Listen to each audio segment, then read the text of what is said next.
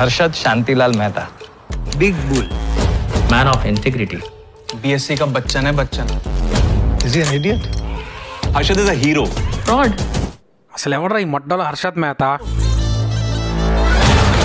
Share market అనేది ఒక బావి లాంటిది అది ఎంత లోతుంటుందంటే మన దేశం మొత్తం డబ్బు మీద మోజు తీర్చుకునేంత నేను కూడా ఆ బావిలోకి దూకి దూల తీర్చేసుకుందామని ఫిక్స్ అయ్యా బాగా రిస్క్ అనుకుంటా రిస్క్ చేస్తేనే కదరా అసలు మజా నేను చరిత్ర సృష్టించాలని వచ్చా చిటికలేస్తూ కూర్చుంటే చరిత్ర మారిపోదు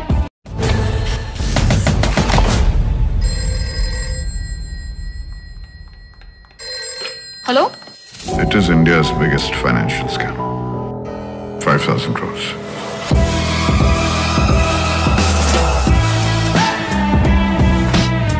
Funds किसके हैं every single penny belongs to the people of India ये Madhavan joint director CBI Arshad Mehta taking into custody నేను చేసిన అతిపెద్ద తప్పేంటో తెలుసా? హర్షద్ మెహటాగా పుట్టడం.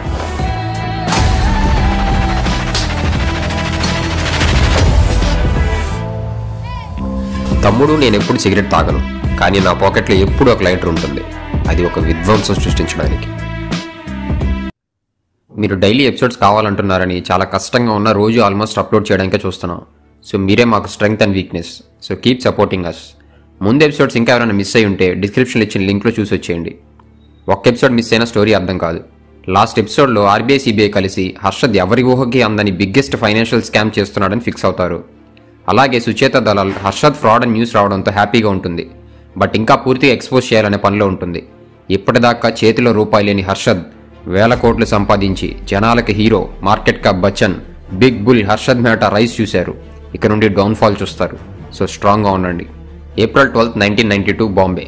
NHB దగ్గర తీసుకున్న ఐదు వందల కోట్లు సెటిల్ చేసుకోవడానికి ఫేర్వాన్ ఇంటికి వచ్చి డీల్ చెప్తాడు హర్షద్.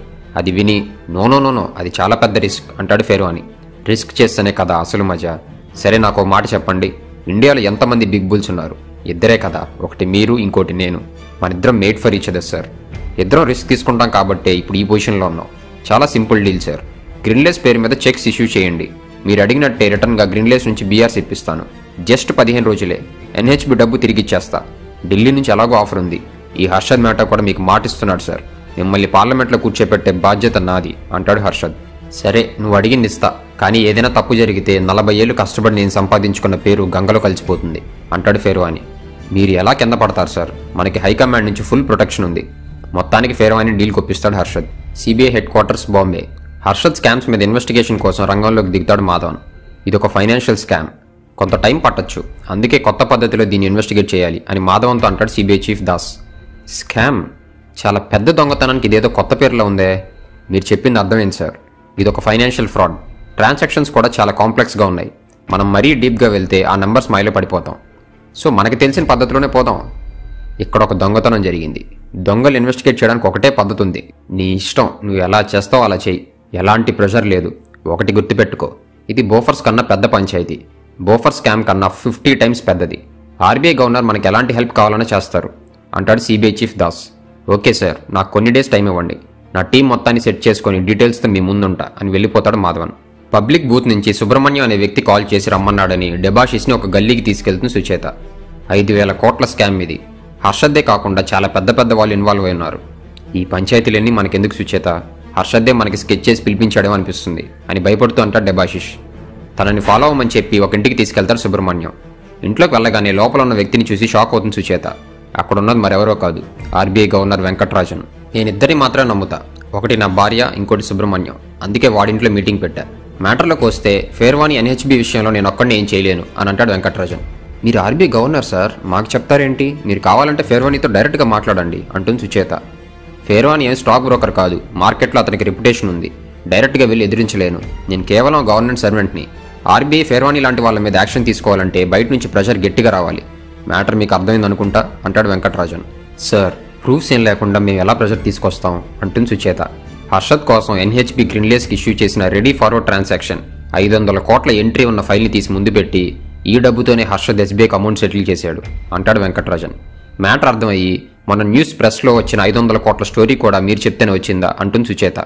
సమాధానం ఇవ్వకుండా గుడ్ డేట్ చెప్పి వెళ్ళిపోతాడు వెంకటరాజన్. ఇంతలో సిబిఐ ఎంక్వైరీ మొదలుపెట్టిందని న్యూస్లో చూస్తారు హర్షద్ అశ్విన్ ఈ సిబిఐకి ఒక్క ముక్క అర్థం కాదు. ఫైనల్గా ఒక బక్రాన్ని చూసి ఇరికించేస్తుంది. ఇంకో పక్క ఆర్బీఐ ఏమో వాళ్ళ ఇమేజ్ డ్యామేజ్ అవ్వకూడదని సైడ్ అయిపోతుంది. నాకు ముందే తెలుసు హర్షద్. అందరూ కలిసి ఫైనల్గా మనల్ని దెంగిస్తారని. అర్జెంటుగా మనం ఏదో ఒకటి చేయాలి హర్షద్ అని టెన్షన్లో ఉంటాడు అశ్విన్. టెన్షన్ టెన్షన్గా టూ రూపీస్ డబ్బా ఫోన్ దగ్గరికి వచ్చి హర్షద్కి కాల్ చేస్తాడు ఫెర్వాని. మ్యాటర్ తెలిసే ఉంటాడు సిబిఐ ఎంక్వైరీ గురించి అనుకొని మీరు వరి అవ్వకండి బాయ్. మీ పేరు బయటికి రాదు. ఎస్బీఐ కూడా మొత్తం సెటిల్ చేసే కదా అంటాడు హర్షద్. అది కాదు హర్షద్. సుచేత కాల్ చేసి హర్షద్కి ఎన్హెచ్బి ఐదు వందల కోట్లు ఇచ్చిందా అని అడిగింది. అలాగే ఆర్బీఐ ఫామ్ చేసిన జానకిరామన్ కమిటీ ముందు నన్ను హాజరవ్వమని చెప్పింది అంటాడు ఫెర్వాని. తిరిగి హర్షద్ మాట్లాడే లోపు కాల్ కట్ అయిపోతుంది. పక్క రోజు టైమ్స్ ఆఫ్ ఇండియాలో ఆర్బీఐ సబ్సిడరీ అయిన ఎన్హెచ్బి బిగ్ బుల్ హర్షద్కి ఐదు వందల కోట్లు ఇచ్చినట్టు ఆర్టికల్ ప్రింట్ చేసిన Sucheta. NHB head MJ Pherwani కూడా స్కామ్లో ఇన్వాల్వ్ అయ్యాడని న్యూస్ రావడంతో హర్షద్ కళ్ళ ముందే సెన్సెక్స్ పడిపోతుంది. ఇద్దరి డీల్ పబ్లిక్ అయిపోయిందని హర్షద్ని కలిసి తన పొజిషన్ని రిజైన్ చేస్తా అంటాడు ఫెర్వాని. రిజైన్ ఎందుకు చేస్తున్నారు సార్? ఈ ట్రాన్సాక్షన్కి నాకు సంబంధం లేదని చెప్పండి. మిగతాది నేను చూసుకుంటా. నా పేరు మీద చెక్ ఇష్యూ చేయటం అనేది మనీ మార్కెట్లో కామన్గా జరిగేదే. అనఫీషియల్లే కానీ అందరూ టైం సేవ్ చేయడం కోసం ఇదేగా చేస్తారు. త్వరలో ఎన్హెచ్బికి ఇవ్వాల్సిన ఐదు వందల కోట్లు కూడా సెటిల్ చేసేస్తా. నన్ను నమ్మండి సార్ అంటాడు హర్షద్. హర్షద్ ట్రస్ట్ అనేది చాలా ఖరీదైంది. నాకు వేరే ఆప్షన్ లేదు. రిజైన్ చేయడం తప్ప అని వెళ్ళిపోతాడు ఫేర్వాని. ఇంతలో CBI joint director Madhavan search వారెంట్తో Pherwani ఇంటికి వస్తాడు. కాసేపు సర్చ్ చేసి ఫేర్వాని నాకెందుకో ఇక్కడ కంఫర్ట్ లేదు.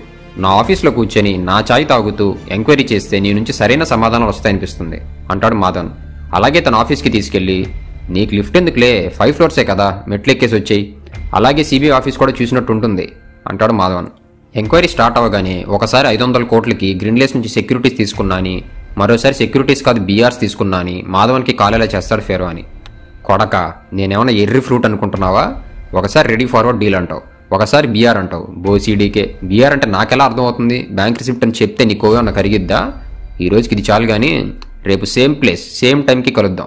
నేను సేమ్ క్వశ్చన్స్ అడుగుతా. ఈసారి నాకు అర్థమయ్యే భాషలో ఆన్సర్స్ రావాలి. చాలా కష్టపడి పైకి వచ్చావు కానీ లిఫ్ట్లో వెళ్ళిపో అని ఫేర్వానితో అంటాడు మాధవన్.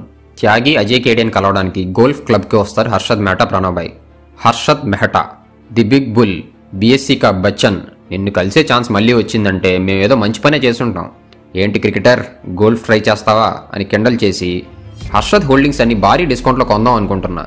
దాంతో హర్షద్ సున్నా అయిపోతాడు అని అజయ్ కేడేతో అంటాడు త్యాగి. ఒకసారి ఆలోచించి త్యాగి మనం కొనకపోతే వాడు ఎన్హెచ్పి కట్టలేడు. దాంతో హర్షద్ చాప్టర్ క్లోజ్ అయిపోతుంది. టెంప్ట్ అవ్వకు అంటాడు అజయ్ కేడియా. లేదు కేడియా ఎంత పెద్ద ఫ్రాడ్ చేసినోడైనా బెయిల్ మీద ఈజీగా బయటకు వచ్చేస్తాడు. మనకు కావాల్సిన బిజినెస్ అని అజయ్ కేడా కాలేలా చేస్తాడు త్యాగి. ఏంటి త్యాగి ఇంకా మన బిజినెస్ డీల్ సెట్ చేసుకుందామా? నా ఫోర్టీన్ హండ్రెడ్ క్రోర్స్ విలువైన హోల్డింగ్స్కి నీ ఆఫర్ ఎంత ఇస్తావు? అంటాడు హర్షద్. థర్టీ ఫైవ్ పర్సెంట్ ఇస్తా. అంటే ఫోర్ నైంటీ క్రోర్స్ అనుకుంటా. నువ్వు ఇంత దూరం వచ్చావు కాబట్టి రౌండ్ ఫిగర్ చేసి నీకు కావాల్సిన అమౌంట్ ఐదు వందల కోట్లు ఇచ్చేస్తా పో అంటాడు త్యాగి. త్యాగి ఆఫర్కి గొద్దులో కాలి. మంచి ఆఫర్ ఇచ్చావు త్యాగి బాయ్.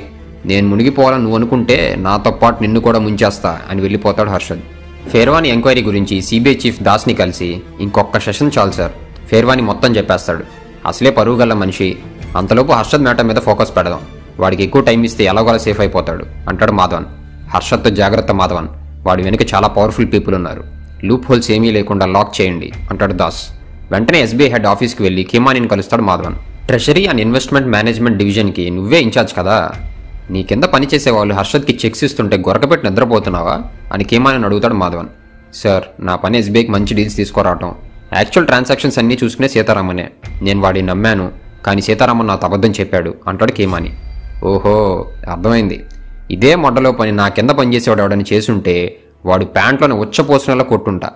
నువ్వు కూడా అనుకుని ఉంటే సీతారామంతో అలానే చేసుండొచ్చు. అవునా కాదా? అని స్టాఫ్ అందరి ముందు కేమాని ఇజ్జత్ తీస్తాడు మాధవన్. ఇంతలో సీతారామన్ బాస్ కామత్ లాకర్ చూసి ఏంది కామత్? బప్పి లహరి లాకర్లా ఉంది? అంత గోల్డ్ పెట్టుకొని ఉన్నావు అంటాడు మాధవన్. అదేం లేదు సార్ నా కూతురి పెళ్ళి కోసం పెట్టుకొనున్నా అంటాడు కామత్. అయినా కూడా అన్ని నగలు ఎలా కొన్నావు? అంటాడు మాధవన్.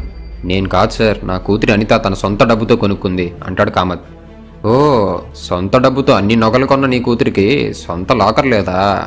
సర్లే ఇదంతా కాదు కానీ నీ లాకర్ సీల్ చేస్తున్నా. ఇంకో విషయం నిన్ను ఎప్పుడైనా బొక్కలో వేస్తా రెడీగా ఉండు. By the way congrats for the wedding అని సీతారామన్ ఇంట్రాగేట్ చేయడానికి వెళ్తాడు మాధవన్.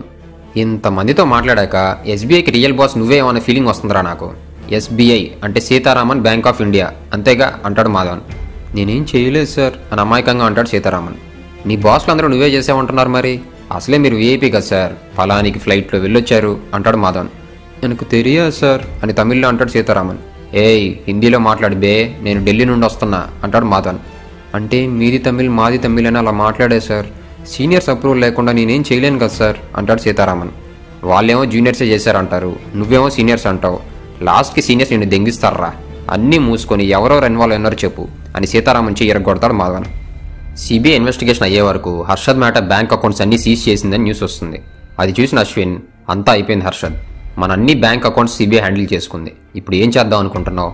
సిబిఐ దగ్గర ఆ ఫేర్వాన్ని నోరు ఇప్పితే ఏం చేస్తావు? అంటాడు అశ్విన్. ఈ కంపెనీ నీకెంతో నాకు అంతేరా? ప్రతిసారి క్వశ్చన్స్ నన్ను అడక్కు. అప్పుడప్పుడు సొల్యూషన్స్ తర్రా. కొంచెం బుర్రవాడు అశ్విన్.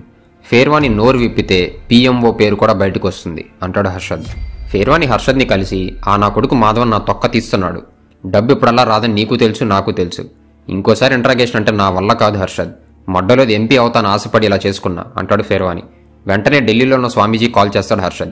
ఇప్పుడు ఏం చేయమంటారు స్వామీజీ? సిబిఐ ఏం చేయదన్నావు? సాలేగాల్ నా అకౌంట్స్ అన్ని సీజ్ చేశారు. ఇంకోసారి ఆ మాధవన్ ఫెరోని ఇంట్రాగేట్ చేస్తే మొత్తం చెప్పి దొబ్బుతాడు. అని సీరియస్ అవుతాడు హర్షద్. కూల్ హర్షద్. ఇవన్నీ part and parcel of life CBI దానిపైన చేసుకొని అసలు ఫేర్వాని నోరు తెరిస్తే కదా మనం భయపడాలి అంటాడు Swamiji.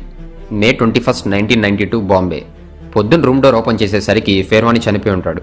ఈ న్యూస్ చూసి సుచేత కాల్ చేసి కంగ్రాచులేషన్స్ అంటాడు సోర్స్ కరంచంద్ సుచేత రాసిన ఆర్టికల్ సిబిఐ రెండు ఫేర్వానికి హార్ట్ అటాక్ వచ్చేలా చేశాయని ఆఫీస్లో అందరూ మాట్లాడుకోవటం విని ఫీల్ అవుతుంది సుచేత. డబాషిస్ ఇంటికి రాగానే తన వల్లే ఫెర్వాణి చనిపోయాడని బాధపడుతుంది సుచేత. మనకు ఉన్న ఒకే ఒక స్ట్రాంగ్ విట్నెస్ ఫెర్వాణి ఇప్పుడు వాడు కూడా చనిపోయాడు అని సిబిఐ చీఫ్ దాస్తో అంటాడు మాధవన్. నువ్వేమనుకుంటున్నావు? ఇది హార్ట్ అటాకేనా లేక ఇంకేమైనా జరుగుండొచ్చా? అంటాడు దాస్. పోలీసులు పక్కా దీన్ని న్యాచురల్ డెత్గానే ప్రొజెక్ట్ చేస్తారు సార్. కానీ నిజమేంటో మీకు తెలుసు నాకు తెలుసు. మనం ఇంకా టైం వేస్ట్ చేయకూడదు సార్ అంటాడు మాధవన్. జానకిరామ్ కమిటీ ఇచ్చిన ఫస్ట్ రిపోర్ట్ చూశా. ఇమ్మీడియట్గా ఎస్బీఐలో కరెక్ట్ అఫీషియల్స్ మీద కేసు ఫైల్ చేయండి. ఆ తర్వాత బుల్ ఫైట్లోకి దిగుదాం. ఆ బుల్ ఫైటర్ మీరే అంటాడు CBI chief Das. June fourth nineteen ninety two Bombay. సడన్గా హర్షద్ మేట ఇంటికి తన టీంతో వస్తాడు మాధవన్. నీకు నేను పెద్ద ఫ్యాన్ హర్షద్. కాదు కాదు భక్తుణ్ణి. ఒక్కసారి షేక్ హ్యాండ్ ఇస్తావా? రైడ్ చేయడానికి వచ్చాం. ఇల్లు చాలా పెద్దగా ఉన్నట్టుందే. ఆ అందరికీ టిఫిన్ చేసి పెట్టు. అసలే మీ ఇంట్లో దోకల చాలా బాగుంటుందని బయట టాక్ అంటాడు మాధవన్. పదకొండు గంటలు సెర్చ్ చేసి మా వాళ్ళకి చాలా పని చెప్పావు హర్షద్. డిన్నర్ టైం అయిపోయింది. మా ఆఫీస్లో బఫెట్ సరిగ్గా ఉంటుంది. అక్కడికి వెళ్ళి మాట్లాడుకుందాం. అశ్విన్ బాయ్ నువ్వు కూడా వచ్చేయి. అని ఇద్దరిని పోలీస్ జీప్ ఎక్కించుకొని కస్టడీలోకి తీసుకుంటాడు మాధవన్. ఈ బ్రేకింగ్ న్యూస్ విని డెబాషిష్కి కాల్ చేసి మనం వెంటనే కలవాలంటుంది సుచేత. డెబాషిష్ని తీసుకుని హర్షద్ మేట ఇంటికి వచ్చేస్తుంది సుచేత. నువ్వు రాసిన ఆర్టికల్స్ వల్లే కదా ఇప్పుడు ఇలా జరిగింది. మన దేశంలో టెర్రరిస్టులు స్కామ్లు చేసిన పొలిటీషియన్స్ ఫ్రీగా తిరుగుతున్నారు. హర్షద్ తప్పు చేశాడో లేదో ఇన్వెస్టిగేషన్ కూడా చేయకుండా అరెస్ట్ చేయడం ఏంటి? అని సుచేత మీద ఫైర్ అవుతుంది జ్యోతి మేట. హర్షద్ అరెస్ట్ అయ్యాడని తెలిసి మార్కెట్ ఘోరంగా పడిపోతుంది. ఇది చూసి హర్షద్ షేర్స్లో ఇన్వెస్ట్ చేయించిన బ్రోకర్స్ని కొట్టడం స్టార్ట్ చేస్తారు జనాలు. ఆఫీస్ నుంచి వెళ్ళిపోవాలని చూసిన భూషణ్ బైని తరిమి తరిమి కొడతారు జనాలు. దలాల్ స్ట్రీట్ మొత్తం హర్షద్ ఈజ్ ఎ లయర్ అనే ప్లే కార్డ్స్తో మారు మోగిపోతుంది. హర్షద్తో మళ్ళీ ఇంట్రాగేషన్ స్టార్ట్ చేస్తాడు మాధవన్. మా ఆఫీస్ ఎలా ఉంది హర్షద్? మీ ఇల్లంత పెద్దది కాకపోయినా కొంచెం బెటరేలే కాకపోతే ఫ్యాన్సే పనిచేయవు కాస్త అడ్జస్ట్ అవ్వు. సిస్టమేటిక్గా ఎస్బీఐ నుంచి ఎలా ఎప్పుడు ఎక్కడ లూట్ చేసావు? అసలు ఆ ఎస్బీఐ డబ్బుని ఏం చేసావో చెప్పు. మనకు చాలా టైం ఉంది. కానీ ఎంతసేపు నెల నోరు మూసుకొని ఉంటావు? సీతారామన్ కూడా మొత్తం చెప్పేశాడు అంటాడు మాధవన్. నేను ఎస్బీఐ దగ్గర ఏం లూట్ చేయలేదు. మొత్తం కట్టేశాను. అంటాడు హర్షద్. అవును కట్టేశావు కదా. మరి ఆ కట్టిన డబ్బులు ఎక్కడి నుండి లూట్ చేసావు నువ్వు చేసిన మడ్డలో పనులన్నీ బయటికి రావాలంటే చాలా టైం పట్టుద్దిలే కానీ అంతవరకు మాకు గెస్ట్గా ఉండు అని హర్షద్ని బైకుల్లో జైలుకి పంపిస్తాడు మాధవన్. అశ్విన్ బెయిల్ మీద తిరిగి ఇంటికి వచ్చేస్తాడు. హర్షద్ని ఇంకొన్ని రోజులు ఇంట్రాగేట్ చేయాలని బెయిల్ ఇవ్వలేదని జ్యోతితో అంటాడు అశ్విన్. హర్షద్ సెల్లోనే ఇంకో రౌండ్ ఇంట్రాగేషన్ స్టార్ట్ చేస్తాడు మాధవన్. నీ మీద మొత్తం థర్టీ వన్ కేసులు ఉన్నాయి defrauding SBI Maruti Udyog defrauding case SBI cab defrauding case ఇలా ఎన్నో లెక్క లేదనుకో ఒక్క దాంట్లో నీకు బెయిల్ వచ్చినా ఇంకో దాంట్లో ఇరుక్కుంటావు. ఈ దెబ్బతో నీ సీట్ చినిగిపోద్ది. నీకు ఇంకో గుడ్ న్యూస్ చెప్పాలి. ఫారిన్ కరెన్సీ వైలేషన్ కేసులో ఎన్ఫోర్స్మెంట్ డైరెక్టరేట్ నేను కలవాలంట. అంటే నాదైపోగానే వాళ్ళు బ్యాండ్ బజార్ స్టార్ట్ చేస్తారన్నమాట. హర్షద్ న్యూస్ విని త్యాగి అజయ్ కేడియా పార్టీ చేసుకుంటూ ఉంటారు. కానిస్టేబుల్ హెల్ప్ తీసుకొని స్వామీజీకి జైలు నుండే కాల్ చేస్తాడు హర్షద్. స్వామీజీ ఇక్కడ నేను చనిపోయేలాగా ఉన్నా ఇదే మనకి లాస్ట్ ఛాన్స్ నేను మునిగిపోయే స్టేజ్కి వస్తే అందరినీ ముంచే వెళ్తా అంటాడు హర్షద్. ఏదో ఒకటి చేస్తా హర్షద్ కొంత టైం ఇవ్వు. ఇక్కడ వాళ్ళతో డిస్కస్ చేసి చెప్తా అంటాడు స్వామీజీ. అంత టైం లేదు స్వామీజీ నా మెసేజ్ డైరెక్ట్ ప్రైమ్ మినిస్టర్కే చెప్పు అంటాడు హర్షద్. పీఎంనే బెదిరించాలని చూస్తున్నావా అంటాడు స్వామీజీ. ఏంటి స్వామీజీ మ్యాటర్ మొత్తం మీకు తెలుసు కదా అని ఒక నవ్వు నవ్వి పెట్టేస్తాడు హర్షద్. పీఎం ఈ స్కామ్లో ఇన్వాల్వ్ అయ్యున్నాడా లేదా అనే సస్పెన్స్ ఎపిసోడ్ ఎండ్ అవుతుంది.